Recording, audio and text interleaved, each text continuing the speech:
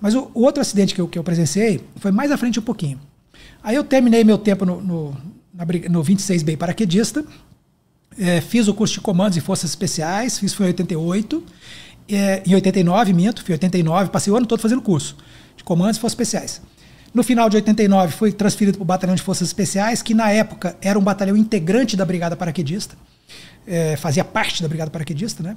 É, e aí, no Batalhão de Forças Especiais, me apresentei em janeiro e comecei a, né, comecei a ter minha vida lá de comandante de destacamento de ações de comando, já formado, comandos, Forças Especiais e tal. E no, passou o ano todo, no finalzinho do ano, a, a, Brigada Paraquedista, é tradição dela também, todo ano ela faz isso. Ela faz uma grande operação chamada Operação Saci. Nessa operação, a brigada lança de uma vez só muitos paraquedistas. Então é, é bacana, assim, é cinematográfico. Parece a, a, saltos da Segunda Guerra Mundial, que o, céu, o céu ficava coalhado de paraquedistas, aquelas fotos bonitas, tal, filmagens de época. Então a brigada saltava com muitos paraquedistas. Então vários aviões ao mesmo tempo, um do lado do outro, lançavam paraquedistas ao mesmo tempo. Então você tinha ali 200, 300 paraquedistas no ar ao mesmo tempo, até mais. Então nós fazíamos a, a tal da Operação Saci. E nessa Operação Saci, é, eu, já, eu não estava no, no, batalhão paraquedista, estava no batalhão de forças especiais. Então nós tínhamos um papel diferenciado nessa Operação Saci. O pessoal falou o seguinte, falou, não, do batalhão de forças especiais nós queremos, queremos o seguinte, vocês vão saltar dias antes de nós, do resto da Brigada Paraquedista, né? coisa, de, coisa de tropa especial mesmo, bem coisa de comandos, ação de comandos. E nós precisamos que vocês conquistem algumas pontes que estão próximas da zona de lançamento. Porque essas pontes elas são importantes, porque depois que nós saltarmos, primeiro que durante o salto é uma área muito é uma, é uma, é uma, uma hora muito sensível. O paraquedista está ali um pouco incapacitado, ele está saltando, ele está preocupado com o paraquedas, não está preocupado com o inimigo no solo. Então nós temos que nos assegurar de que o inimigo não vai chegar até a zona de lançamento durante o salto, que a gente vai estar fragilizado ali. Então vocês conquistam aquelas pontes que, que, que, que bloqueiam as estradas. Quando você conquista a ponte, o, se o inimigo resolver vir até lá para poder fazer o ataque em cima dos paraquedistas né, durante o salto, vocês na ponte vão barrar o inimigo, vão impedir que ele chegue até a zona de lançamento. E também vocês ficam de posse da ponte para ter certeza que o inimigo não vai destruir ela. Porque o inimigo pode falar assim, pô, os caras saltaram ali, eles vão querer passar por aqui. Vamos destruir essa ponte aqui que a gente segura, eles, eles não vão conseguir passar. Então vocês vão lá, conquistam as pontes. Essa ponte aqui, aqui, aqui. Marcaram algumas pontes lá. Então o meu destacamento de comandos recebeu como missão conquistar uma dessas pontes. Uma ponte bacana que tem lá. Quem conhece Resende, a Via Dutra, quem sai do Rio para Resende, um pouco antes de chegar em Resende, tem uma ponte chamada Ponte dos Arcos, né? que fica ali próxima de Resende. Se eu não me engano, ela, ela é sobre o Rio Paraíba, mas não tenho certeza. Tá? Então tem a Ponte dos Arcos ali, é, e aí nós conquistamos, ali fizemos a conquista da ponte. Aí era um exercício, evidentemente, né, uma, uma, uma um combate simulado, né? então tinha uma, uma força tinha uma, força oponente ali simulada também. Eles providenciaram para que tivesse gente ali, para que nós tivéssemos alguém para atacar, né? não estava a ponte vazia. Então tinha lá um inimigo simulado que nós atacamos o inimigo simulado, conquistamos a ponte, isso foi de noite, madrugada numa ação de comandos bem bacana. Né? Conseguimos conquistar a ponte. Nessa simulação, é, é esse o inimigo que está ali, ele oferece resistência? Como é que funciona? Sim. O que, que acontece? Como é que a gente faz? A gente coloca, primeiro que todo mundo, você não pode estar com munição real. Pô, senão você mata o cara, né? Então, sai todo mundo com munição de festim, tá certo? Que você dá o tiro e respeitadas certas regras, você não machuca ninguém, né? Tiro é foda, cara. Tiro é foda. Quem, quem, quem, quem, quem mexe com arma sabe. Tá certo? Até munição de festim é perigoso. Se você pega uma, uma, um fuzil, por exemplo, com munição de festim, mesmo que ele tenha ali o reforçador para tiro de festim, que é uma pecinha que a gente põe na boca do fuzil, pra, meio que para tampar a boca, para diminuir a quantidade de detritos que, que vão ser expulsos por ali. Né? É, e também para dar mais força e permitir que a arma faça o seu, o seu carregamento. Então a gente bota uma pecinha ali para meio que tampar a boca do fuzil. Mesmo que ele esteja com aquela pecinha, a pecinha não pode tampar completamente o cano. Porque senão você dá o tiro de festim, o tiro de festim ele é um tiro normal que não tem a ponta, só isso. Mas ele tem a pólvorazinha que faz o barulho, tá certo? E que faz tem força suficiente para fazer com que o próprio fuzil carregue a próxima munição, para que você não tenha que ficar puxando para trás o, né, e fazendo carregamento manual. Então, é, a, essa pecinha que você põe na boca do fuzil, ela tem um furinho nela, porque ela não pode tampar a boca. Se tampar a boca, o gás é tão potente que pode danificar o cano. Se bobear até explode o cano ou explode a culatra. Então tem que ter uma saída de gases. Essa, esse furinho do, do, do reforçador para tiro de festim que permite a saída dos gases, ele também permite que vá, que saia para frente da arma algum resíduo de pólvora uhum. em alta velocidade. Então, se você pega um fuzil com tiro de festim e aponta ela para uma pessoa, por exemplo, e dá um tiro de muito próximo, muito próximo para nós é assim, 5, 6, 10 metros, tá? Dá um tiro a menos de 10 metros numa pessoa, poxa, se aquele resíduo de pólvora viajando ali numa velocidade alta for na direção do olho do camarada, você cega ele. Certo? Você, pode, você, pode, você pode tirar a visão de um cara. Você machuca ele, você queima ele. Você dá um tiro de festim na pele a, de um palmo, por exemplo, eu vou, eu vou machucar meu braço, vou causar uma queimadura ali. Então, é, é, você tem que tomar cuidado. Mas tomar os devidos cuidados é interessante para o adestramento. Né? A gente pode dar, dar tiro, dar rajada, pá, pá, pá, o inimigo dá rajada também. Então você identifica o inimigo, você né, sabe, na hora que você dá a rajada, você tem condição de saber na sua cabeça se você teria acertado ou não no inimigo. Então dá, uma, dá mais realismo para a simulação. Então todo mundo com munição de festim, nós e o inimigo. Só que era uma ação de comandos, né, bicho? Ação de comandos, pô, você tem várias maneiras de você resolver o pepino ali. Você pode realmente dar tiro em todo mundo e matar todo mundo, ou você pode tentar fazer aproximação por meios furtivos, né? E chegar até ali e, e, e providenciar para o desarme daquele inimigo ali sem necessidade de fazer o tiroteio. Isso em termos de sigilo é bom, porque você não atirando, você não chama a atenção de outros inimigos que possam estar próximos. Né? Imagina lá, eu vou atacar os caras na ponte, se eu transformar aquilo numa emboscada de um tiroteio infindável, se tiver outros inimigos ali do lado, a um quilômetro, por exemplo, o cara vai ouvir. O que, que é isso aí? Que tiroteio esse na ponte? Daqui a pouco vem todo mundo lá para ver o que está acontecendo. Eu vou ter que segurar todo mundo. E você não chega lá se você tiver que ir até lá e ganhar os caras. Pois é então. Então, nós, a primeira tentativa é sempre você tentar fazer uma conquista de objetivo como aquela, Sim. fazendo uma ação, uma ação furtiva, e, e, se aproximando sem ser visto, e ao invés de você atirar no inimigo, você silenciá-lo, como eu falei no último podcast aqui, que é você tentar é, neutralizar aquele inimigo sem necessariamente matá-lo, tá certo? até pode matá-lo, mas se você vai matá-lo utilizando uma faca, um garrote, de maneira que ele não, não tenha o, o barulho do tiro para poder chamar a atenção. Então, fizemos silenciamento de sentinelas e, e detalhe, o, o inimigo não. É, é, o cara que montou o exercício, ele teve a preocupação de fazer com que aquele inimigo lá, ele não soubesse quando seria o nosso ataque. Eles botaram os caras ali para tomar conta da ponte e não disseram para eles: os caras vão chegar tal hora, tal dia. Não. Tá certo? Até porque ninguém sabia que hora que eu ia chegar, só eu mesmo. Tá certo? Eu, como era comandante do destacamento, eu planejei a ação. E não contei para ninguém, ou seja, ninguém sabia a hora certa do meu ataque, só eu. Então, quando nós chegamos lá, os caras estavam muito espertos, muito atentos, porque eles sabiam que ia ser, tipo assim, grande chance de ser naquela noite, né? Mas não tinham certeza se ia ser naquela noite e nem que hora que ia ser. Então, o inimigo espertíssimo ali, olhando, vigiando para não deixar, e, e, pô, e, e o, o inimigo figurado, né, motivado, para não perder a guerra. Ele queria ganhar a guerra também. Fala, pô, nós não vamos entregar isso aqui não. Esses caras, para conquistar aqui, vão ter que conquistar de verdade. Então, então fizemos o ataque ali, conseguimos conquistar a ponte, né? É, entramos de posse da ponte na, na madrugada daquele dia. E aí, bicho, no, no dia seguinte, de manhã, foi o salto da brigada paraquedista. E eu estava na ponte, já com a ponte conquistada, o inimigo todo ali feito prisioneiro, né? É, em, em, tese, né? Se, se, você olhar como foi nossa ação, nós tivemos que, que, nessa ação teriam falecido três ou quatro inimigos, né? Na ação de silenciamento, os demais foram dominados, a, né? Sob mira das armas, mas tiveram que se render, tiveram que se render pegos, pegos pela surpresa. É, então nós tínhamos ali o inimigo amarradinho num canto, tá certo? É, dominado, né? Feitos prisioneiros. É, e, e, e, a gente observando ali para ver se vinha alguém na direção da ponte para cumprir nossa missão, né? barrar ali algum, alguma viatura do inimigo, impedir que o inimigo usasse aquele caminho.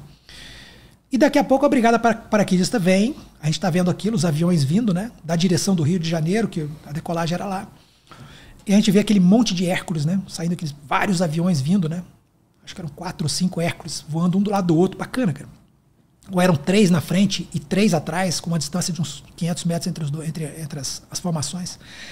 E aí começou a sair os paraquedistas, a gente vendo da ponte, a uma distância de o quê? Devia ter o quê? Um quilômetro para a zona de lançamento. A gente vendo a um quilômetro de distância, relativamente próximo, vendo os paraquedistas saírem. E eu estou vendo aqueles paraquedistas, primeira aeronave, primeira leva de aeronave, saiu um montão de gente, em princípio tudo bem, os paraquedas abrindo, tudo direitinho, aquele monte de paraquedas redondinho, parecia o céu da Normandia, sei lá, o céu da, né, da Segunda Guerra Mundial. Coisa de cinema, bonito, salto bonito, Operação Saci é sempre assim. É, e daqui a pouco a gente olha, e eu estou prestando atenção no salto, porque eu, não veio ninguém pela estrada, nenhum inimigo veio pela estrada, a gente estava tranquilo, né, bem. É, não precisamos entrar em força ali. E daqui a pouco, acho que na segunda, segunda leva de, de, avi, de aviões, eu vi uma coisa diferente. Eu falei, ué, os paraquedistas saindo, abrindo seus velames, né? Um mil, dois mil, três mil, quatro mil velame, todo mundo abrindo velame, velame, velame. Você vê aquele monte de coisinha de, de, de rodinha abrindo no céu, né? E daqui a pouco eu vejo como se fosse uma pedrinha caindo assim, né? Como se fosse um, um objeto caindo. Aí eu falei assim, gente, tá meio grande aquilo para ser um para ser uma mochila. Isso, aquilo que caiu não é uma mochila, definitivamente, é maior do que uma mochila. Será que algum paraquedista perdeu um, algum estavam saltando com algum pacote que a gente fala algum, algum alguma coisa maior que tava, tivesse levando talvez um morteiro? Eu falei, mas que estranho. Geralmente, se é, se é maior assim, não salta junto com o paraquedista. É, o troço é lançado isoladamente no, no ar. Tá certo? E, e, é, e, é, sempre lançado, quando você salta com o pacote, essas cargas que saltam sozinhas, sem paraquedista, são, são a, é a primeira que sai do avião. Só pode lançar uma por porta logo na, na saída. É a primeira que sai. E aquele para, aquela, aquela coisa que caiu não, não foi a primeira a sair da aeronave. Então não era um pacote.